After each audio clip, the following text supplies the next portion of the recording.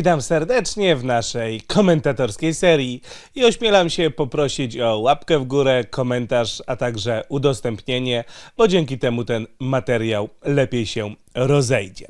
Dzisiaj chciałbym z Wami porozmawiać o pieniądzach w kontekście anomalii klimatycznych, jakie ewidentnie mamy na co dzień. W zasadzie tej zimy chyba już jest oczywiste dla wszystkich, że anomalie e, pogodowe na terenie Polski są, albowiem zimy praktycznie nie było do dnia, w którym kręcę ten vlog, czyli do nocy z 11 na 12 luty 2020 roku. E, do tego te anomalie będą się pogłębiać, bo wskutek tych anomalii, które już mieliśmy, czyli brak zimy, ze szczególnym uwzględnieniem braku śniegu, a także wysokimi temperaturami, które spowodowały wcześniejsze rozpoczęcie na przykład puszczania pąków przez drzewa, no to to, co czeka nas na wiosnę i w lato, w porze zbiorów, to będzie istny Armagedon, zwłaszcza cenowy. I o tym też będzie w tym vlogu, że no niestety, jeśli jesteś wegetarianinem, to chwytaj się za portfel, bo pietruszka za 25 zł z zeszłego roku może okazać się takim fajnym wspomnieniem, jak w tym roku będzie za 50 albo 75. Oczywiście nie cały sezon, ale przez pewną część tego sezonu, a generalnie będzie bardzo, bardzo drogo. O tym też będzie w tym materiale, ale najpierw chciałbym może dlatego, że mam taką naturę, że jak tylko jest coś dobrego, to staram się zaczynać od czegoś dobrego, porozmawiać o tych dobrych stronach, bo dobre strony też są. Tylko zanim o tym powiem, to chcę powiedzieć coś, co jest oczywiste, bo niestety mamy w naszym kraju dużo ludzi, którzy słusznie, bardzo słusznie, e, kwestionują dużą część rzeczy, które robi Unia Europejska, bo Unia Europejska dużo rzeczy robi źle. Na przykład nie wiem dlaczego gazy cieplarniane Unia Europejska sprowadziła do dwutlenku węgla. Już na pewno nie rozumiem, czemu gazy toksyczne i trujące Unia Europejska sprowadziła do dwutlenku węgla, bo dwutlenek węgla taki nie jest. I też nie wiem, czemu Unia Europejska popada w megalomanię i uważa, że jak ona ograniczy emisję, nawet do zera, to że coś to realnie bardzo zmieni bo cała Unia Europejska jakiś znikomy procent szkodliwych substancji emituje do atmosfery. Cała Unia robi tego dużo, dużo mniej niż Chiny, a są jeszcze Stany Zjednoczone, Meksyk wielu, wielu innych trucicieli. Niestety, a może stety, jak to kto tam woli, mm, Unia Europejska jest mało istotna, jeśli chodzi o zanieczyszczenie e, środowiska. W związku z tym, nawet gdyby Unia Europejska całkowicie przestała zanieczyszczać, to to i tak wiele nie zmieni. Istotą rozwiązania problemu jest zmuszenie tych prawdziwych trucicieli, takich jak Chiny, e, Stany Zjednoczone, kilka innych krajów, żeby one coś zrobiły. Ale to także o ile tutaj się krytykuje i słusznie, o tyle część ludzi idzie dalej i mówi, że że nie ma zmian klimatycznych, że to jest lipa, że to sobie wymyśliła Unia Europejska po to, żeby ludzi straszyć. O ile jestem skłonny uwierzyć w tezę, że Unia Europejska wykorzystała zmiany klimatyczne po to, żeby wmówić ludziom, że to przez dwutlenek węgla i ludzi straszyć, o tyle nie, moi kochani. Zmiany klimatyczne to jest stuprocentowy fakt. To jest stuprocentowy fakt i to widzimy za oknem oraz powstrzymanie się od zanieczyszczania środowiska jest rzeczą bardzo, bardzo ważną, bo o ile o tym dwutlenku węgla to można sobie dyskutować, o tyle naprawdę my ludzie bardzo zanieczyszczamy środowiska i przez to już cierpimy, a będziemy cierpieć bardziej. W związku z tym ochrona środowiska rozumiana jako prawdziwa ekologia, jako niezatruwanie środowiska, gdy jest to, nie jest to absolutnie konieczne, jest czymś dobrym. Zatruwanie złe, prawdziwa ekologia dobra, ok? I teraz, jak to już powiedziałem, te oczywiste rzeczy, to przejdźmy sobie do pozytywnych skutków tego, co widzimy za oknem. Czyli tego, że mamy wysokie temperatury w zimę, a w zasadzie, że zimy nie ma. Pierwsza rzecz, która przychodzi do głowy chyba każdemu, to to, że oszczędza się na ogrzewaniu. Przy czym ludzie w blokach y, zwykle, ja też mieszkam w blokach, tylko tak trochę bardziej świadomy jestem, ale ludzie w blokach zwykle bagatelizują to, ha, y, tam płacę kilkadziesiąt złotych za ogrzewanie e, miesięcznie, w związku z tym, jak tam przez te kilka miesięcy nie będę płacił tych kilkudziesięciu złotych, co to za różnica? No w sumie wyjdzie góra stówka, dwie. No niekoniecznie. Rzeczywiście przez to, że mm, ta zima jest taka ciepła poza kilkoma dniami, dużo ludzi bardzo mocno oszczędza na ogrzewaniu. Ja osobiście, ponieważ mam mieszkanie dość ciepłe, dobrze, że o, e, ocieplone, a do tego jeszcze okna wyeksponowane w specyficzny sposób, um, znaczy na dobrą stronę, w tą zimę, poza kilkoma dniami, kaloryfer mam rozkręcony w zasadzie tylko w łazience, bo tam moja rodzina lubi, żeby było bardzo, bardzo ciepło, a tak to mam kaloryfer w pokoju, w którym teraz jestem zakręcony, w kuchni zakręcony. Słuchajcie, mam 22 stopnie. Właśnie spojrzałem na termometr w sypialni, trochę, e, trochę tam Trochę tam jest odkręcone, ale trochę.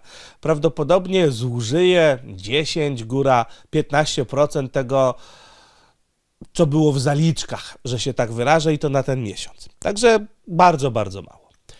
I większość ludzi właśnie jak ma takie dobrze ocieplone budynki, tak ma, że prawie wcale w tym y, miesiącu, w tym roku się nie grzeje.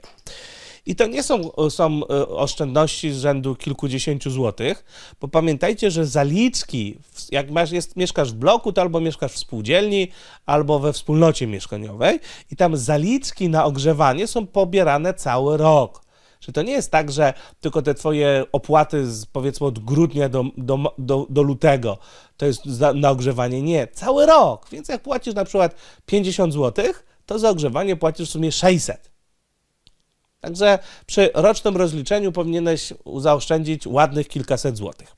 Ci, którzy mają domy albo pecha i na przykład mają piece w blokach, no to już teraz odczuwają, że mm, jest że jest lekka pogoda, w związku z tym nie wydajemy na gaz, czy tam jakiś ekogroszek, czy jakiś olej opałowy, e, czy węgiel, jak ktoś pali węglem, czy, czy drewno na ten opał. I tutaj to już jest bardziej takie mm, widoczne, tak? To jest plus. Minus jest taki, że przez to rośnie hałda węgla przy większości kopalni, no bo jak zima jest lekka, nie pali się, e, no to nie zmniejszy popyt na węgiel, a ponieważ elektrociepłownie i elektrownie głównie palą takim sprowadzanym z Rosji, bo tańsze, e, no to okazuje się, że głównym odbiorcą tego polskiego węgla był e, odbiorca detaliczny i generalnie kopalnie mają wielki problem, ponieważ no, nie ma komu tego sprzedać, hałdy rosną, tam te problemy są na tych hałdach, zaczęły się nawet protesty rolników, w związku z tym ta zmiana klimatu już ma bardzo poważne perturbacje, mm, powiedziałbym, polityczne. Od tego może się zacząć naprawdę niezła mm, polityczna zadyma, która no, teoretycznie może nawet, nawet doprowadzić do zmiany wyników wyborów, bo tam w drugiej turze, w zależności od tego, kto, kto wejdzie do drugiej tury, ale może być naprawdę różnica kilku punktów procentowych e, między pierwszym a drugim kandydatem. Ale wróćmy do plusów. Kolejny plus jest ekologiczny. W momencie, w którym jest ciepło, to ludzie nie palą w piecach tyle, albo palą troszeczkę, albo nie palą wcale, więc nie ma smogu. O ile w zeszłym roku jeszcze, jak ta zima jaka taka była, też nie była za zimna, ale była. E, te alerty smogowe, że tam na czerwono, a czasem nawet na czarno były stężenia tych pyłów zawieszonych e, podawane, tak teraz prawie zawsze jest na zielono. W związku z tym e, dzieciaczki się cieszą, no bo jeszcze o ile dorosły to może chodzi w tej masce, o tyle dzieci nie chcą chodzić w tych maskach, a do tego jeszcze dzieciaczki są malutkie, więc mają, więc są nis, więc mają te buziaki i noski tak bardziej przy ziemi. To jest plus. Ewidentny, ewidentny plus. Oszczędziliśmy sobie na ogrzewaniu, mamy czystsze powietrze tej zimy. E, nasze spółdzielnie też zaoszczędzą bardzo dużo. Na odśnieżaniu spółdzielnie zaoszczędzą, e, na na ogrzewaniu budynków tych części wspólnych zaoszczędzą, więc powinniśmy mieć niższe rachunki, a, a, albo jest szansa, że ci pracownicy spółdzielni, którzy byliby oddelegowywani do odśnieżania, robili coś innego, mam nadzieję, że pożytecznego. W związku z tym tutaj E, takie, e, takie fajne rzeczy. E, podobnie w skali miejskiej, tutaj grube miliony mogłyby być oszczędzane. Warszawa, z tego co pamiętam, założyła, że w tym roku wyda na, na nazwijmy to, walkę ze śniegiem, czy tam odśnieżanie ulic, odśnieżanie chodników, inne tego typu rzeczy. Bodajże 60 albo 80 milionów złotych, do tej pory wydali kilkanaście i biorąc pod uwagę, że zima już de facto nie bardzo ma kiedy wrócić, e, w związku z tym no, oszczędzą te pieniądze. Tyle na plus. Co na minus? Bo na minus zaczyna się robić naprawdę niefajnie. I o ile tutaj mamy takie oszczędności rzędu człowiek, który mieszka w bloku, to sobie e, zaoszczędzi e, kilkaset złotych na ogrzewaniu, plus tam jakieś kwestie związane z utrzymaniem nieruchomości wspólnej, tak zwanej, to pewnie będzie drugie kilkaset złotych. Chyba, że prezes Unio coś tam zahachmęci i tym ludziom, którzy nie odśnieżali, i tak zapłaci za odśnieżanie. No ale to powiedzmy, taki człowiek, który ma typowe mieszkanie, no to maks to zaoszczędzi tysiaka. Zawsze tysiak, y, tysiak warto mieć, ale nie są to jakieś takie gigantyczne sumy, prawda? Zwłaszcza jeśli zobaczymy, jakie są minusy. Minusy są takie, że będzie susza. I to będzie mega susza. Susza, jakiej żeśmy jeszcze nie widzieli. W zeszłym roku była susza. W zeszłym roku. Natomiast w tym roku będzie jeszcze gorzej. Dlaczego? Bo w zeszłym roku przynajmniej był śnieg. Śnieg to jest taka fantastyczna rzecz, jeśli chodzi o sprawę nawadniania ziemi, że on sobie spada i sobie leży. Przez całą zimę sobie pada i leży, nie? A przynajmniej powinien przez całą zimę padać i leżeć, no chyba, że będą, są roztopy, ale nawet jak są roztopy, to zwykle nie topnieje cały. Pada sobie i leży. Potem topnieje. Topnieje przynajmniej w normalnych warunkach klimatycznych, jak powoli topnieje. A ponieważ po, y, topnieje powoli, to bardzo powolutku woda stopniejącego śniegu wsącza się w glebę. Tą glebę spulchnia, rozmiękcza oraz najważniejsze nawadnia. Woda staje się nawodniona. Oczywiście może dojść do ekstremów, takich jak w zeszłym roku, gdzie przed suszą mieliśmy, zdaje się, co? Powódź mieliśmy, prawda? No ale co do zasady jest to dobra rzecz. Dobra rzecz. Ważne tylko, żeby ten śnieg nie topniał za szybko. To też zależy od tego w dużej części, na przykład w miastach, jak dużą mamy betonozę. Betonoza polega na tym, że niektórzy burmistrzowie, inni włodarze miejscy chorują na manię pokrywania wszystkiego, co się tylko da kostką Bauma, a jak się nie da kostką Bauma, to wylewają beton lub asfaltują. Mają taką fobię swoistą, nie lubią trawy, nie lubią krzaków, nie lubią drzew, tylko place mają być takie wybetonowane. To się nazywa betonoza. Co ma do siebie betonoza? To, że nie przepuszcza wody, tam nic nie wsiąka. W związku z tym, jeżeli sobie taki śnieg topnieje w parku, prawda, gdzie normalnie jest sobie ziemia, to sobie spokojnie topnieje i wsiąka w tą ziemię. I potem ta ziemia jest nawodniona i na przykład dzięki temu lepiej rosną drzewa. Natomiast jak sobie taki śnieg topnieje na betonie albo na kostce bauma czy na czymkolwiek innym, to on nie ma gdzie wsiąknąć. Więc co robi? Spływa. Spływa do czego? E, do tak zwanej kanalizacji burzowej. Jak spływa za szybko, to wybija studzienki. Zwykle nie spływa aż tak szybko, więc zwykle nie, nie wybija studzienek, no ale potem gdzie ląduje? No w rzece ląduje, tak? Docelowo większość ląduje w Wiśle i Warcie. Tak, wiecie, bo są te dopływy, nie? No i tam ląduje, ląduje, ląduje, przybiera, przybiera, przybiera i miejscami gdzieś tam przekracza ją rzeki mm, wysokość swoich koryt i, i, za, i zaczynają się lokalne podtopienia lub powodzie. To właśnie ta, dlatego ta betonoza jest bardzo, bardzo niedobra rzecz. No ale, no ale e, także, także no teraz nam to nie grozi. Ale przede wszystkim będziemy mieli sucho. Już po zimie po zimie normalnie ziemia jest bardzo mocno nawodniona, a teraz już będzie sucha. Jakie są prawdopodobieństwa, znaczy jakie jest prawdopodobieństwo, że w naszym suchym klimacie, taki, który się w tej chwili robi suchy, bo teoretycznie to mamy bodajże e, umiarkowany przejściowy, nie, umiarkowany zmienny, o, umiarkowany zmienny mamy, a naprawdę mamy coraz bardziej już suchy, prawda? Te, te, te klimaty się pozmieniały, no to w zeszłym roku prawie, że nie padało na wiosnę i w lato, nie? A jak padało, to właśnie tak ulewnie. E, w krótkim czasie duża ilość wody spadała. zwłaszcza, no to taka woda, która spada w krótkim czasie duża ilość, to, to spływa i z tego są powodzie. Jak jest w długim czasie się ta sama ilość, to wsiąka i wtedy jest ok. No to tak, będziemy mieli już przesuszoną ziemię, bardzo przesuszoną. Do tego jeszcze prawdopodobnie nic wody nie spadnie. W związku z tym wszelkie uprawy, które wymagają wody, będą kompletnie nieudane. Także ziemniak, który już w tej chwili e, potrafi kosztować więcej niż pomarańcza z importu i ewidentnie staje się e, dobrem e, coraz bardziej luksusowym, jeśli chodzi o jedzenie. No bo słuchajcie, jak taniej, jak w niektórych porach roku, jak są te taniej importowane pomarańcze, żeby wychodziło taniej Y, kupowanie importowanych pomarańczy, y, y, żeby wychodziło taniej jedzenie pomarańczy niż ziemniaków. Niesłychana rzecz, tak? Także wszystko to, co wymaga dużej ilości wody, się albo w ogóle nie uda, e, albo będzie bardzo, bardzo małe i bardzo, bardzo drogie, bo tego będzie mało. Teraz tak, ktoś może powiedzieć, Krzychu, co ty pierdzielisz? Przecież w sklepach i tak mamy głównie importowane. Jest nawet taka agrounia, która walczy z, impor z importem, tak? Bo tam, tam, się okazuje, że większość marchewki to jest importowana, większość ziemniaków to jest importowana, więc nic się nie zmieni i tak jest importowane. Kochani, jest zasadnicza różnica w polityce cenowej marketów, jak człowiek ma alternatywę, że kupi sobie na bazarku za normalne pieniądze, a jak nie ma alternatywy, bo polski rolnik no, nie udało mu się wyhodować, E, w związku z tym nie sprzedał polskiemu hurtownikowi, w związku z tym ten na bazarku albo też ma importowane, albo nie ma wcale.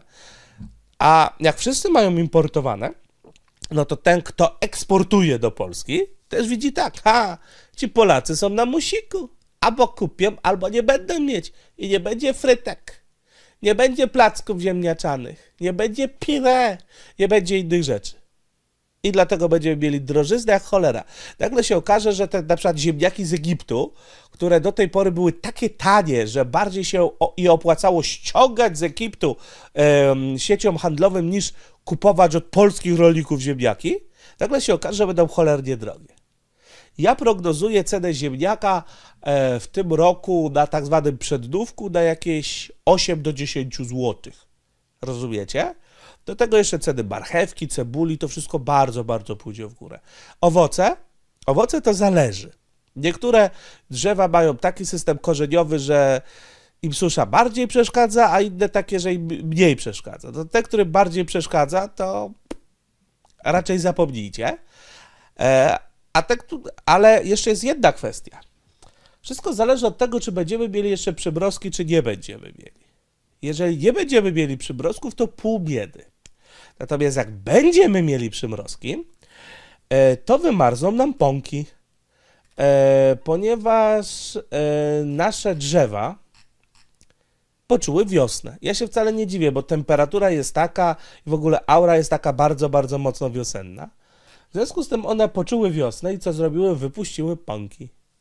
I teraz, jak im te pąki zmarzną, to nie będzie potem pączków. Znaczy nie będzie potem zawiązków owoców, tak? A jak nie będzie zawiązków owoców, to nie będzie owoców. Także przez to, że mieliśmy taką ciepłą zimę oraz bezśnieżną, czeka nas przerażająca susza. Z tego powodu, że czeka nas przerażająca susza, czekają nas bardzo wysokie ceny żywności oraz ujemny bilans, znaczy wpływanie ujemne na bilans handlu zagranicznego, no bo, bo z eksportera jedzenia coraz bardziej zamieniamy się w importera jedzenia. Zamiast dostawać pieniądze za sprzedaż tego jedzenia, to musimy zapłacić pieniądze za kupowanie tego jedzenia. To znowu pociągnie za sobą bardzo poważne problemy społeczne.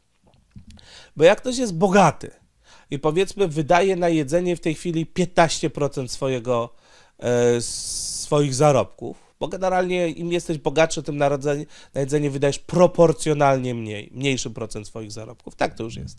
Nawet jak jest generalnie droższe jedzenie. No to ktoś jest bogaty, wydawał powiedzmy 15%, e, no to teraz sobie wyda, e, no to teraz sobie wyda 20%. Albo ktoś jadł drogie jedzenie, to teraz sobie będzie jadł trochę tańsze. Przeżyje. Gorzej z ludźmi, którzy na przykład są biedni. I tam on już nie może jeść tańszego jedzenia, bo on już jadł najtańsze. I teraz ono się zrobi bardzo drogie. Albo wydawał na e, jedzenie na przykład 60% swoich zarobków. I teraz nagle się okaże, że musiałby wydawać dwa razy więcej. No, 120% zarobków nie jesteś w stanie wydać, to matematyka nie pozwala. Także zaczną się bardzo poważne problemy społeczne. E, w związku z tym rząd, ponieważ to będzie przed wyborami przecież, rząd prawdopodobnie podwyższy co? Do zasiłki, dodatki, emerytury, renty, 500 plus, nie wiem, jakiś zrobi jakiś zasiłek suszowy, ale tym razem nie tylko dla rolników, chociaż oczywiście taki też na pewno będzie z tytułu utraty upraw, ale również dla konsumentów, że ludzie nie mają pieniędzy. Problem w tym, że rząd swoich pieniędzy nie ma.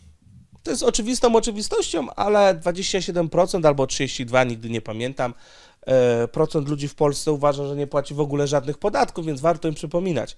Każdy płaci podatki, nawet jeśli jest to na przykład tylko i wyłącznie podatek VAT w bułce, którą kupiłeś sobie w żabce. Każdy płaci podatki. I wszystko, co rząd za przeproszeniem daje, zabiera nam w formie podatków. W związku z tym rząd, żeby dać, bo susza, bo drogo, to będzie musiał zabrać. I prawdopodobnie jak zwykle rząd wprowadzi jakiś parapodatek, jak, jakąś daninę, jakąś opłatę, zrobi jakiś fundusz, wszystko byleby to nie przechodziło przez e, budżet centralny, bo wtedy ten dzień wolności podatkowej im się przesunie w niewłaściwą stronę, a oni, wszystkich, którzy próbują im słusznie mówić, że PiS generalnie podnosi podatki, e, tym dniem wolności podatkowej szachują, bazują na tym, że ludzie nie znają definicji tej, tej zmiennej i, i po prostu nie umieją ją powiedzieć PiSowi, że PiS ciemnia, a konkretnie manipuluje.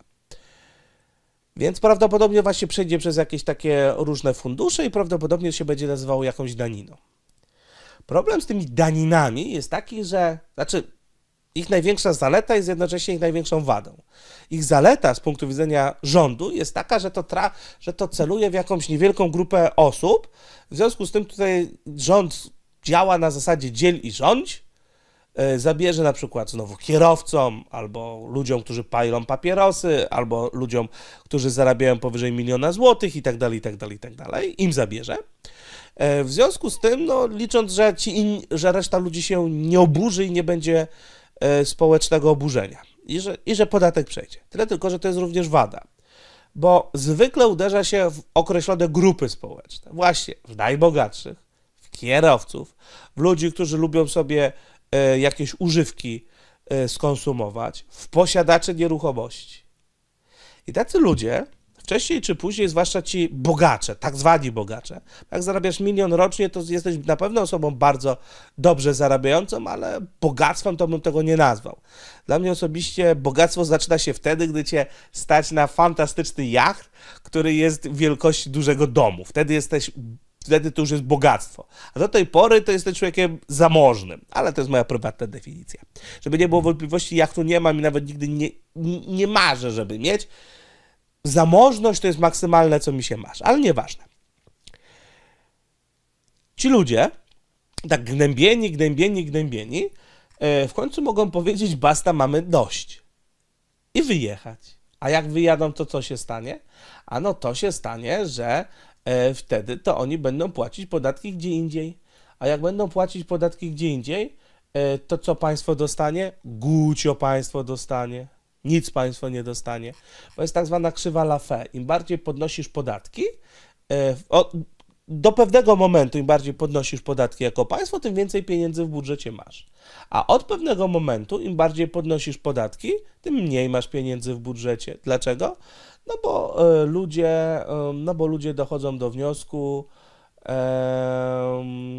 że, że mają w dupie i w ogóle nie płacą. Zaczynają unikać, E, i inne tego typu rzeczy. Także chyba tyle, kochani moi. Pozdrawiam bardzo, bardzo serdecznie. to takie trochę też przykre, nie? Jak bardzo te zmiany klimatyczne wpływają na politykę, wpływają na ekonomię, wpływają na nasze życie chyba zdecydowanie bardziej niż sobie z tego zdajemy sprawę, więc warto, żebyśmy sobie zdali sprawę i dlatego jeszcze raz ośmielam się poprosić o ten komentarz, łapkę w górę i udostępnienie. Trzymaj się, do zobaczenia. Pa!